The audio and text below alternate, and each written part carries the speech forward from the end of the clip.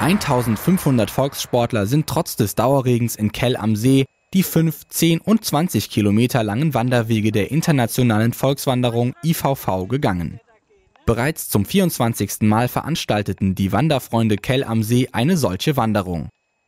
Start und Ziel der Sportveranstaltung war die Kultur- und Sporthalle, in deren innerem reges Treiben angesagt war. Meldungen zur Teilnahme gab es dort, ebenso wie Gelegenheiten zum gemütlichen Beisammensein. Zufriedenheit herrschte auch bei den Sportlern. International war die Veranstaltung allemal. Teilnehmer aus Frankreich, Luxemburg, Deutschland und Belgien legten an vier Kontrollstellen ihre Startkarten vor.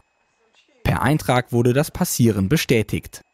Im persönlichen Wertungsheft findet der IVV-Wertungsstempel als Nachweis für die absolvierte Wanderung seinen Platz.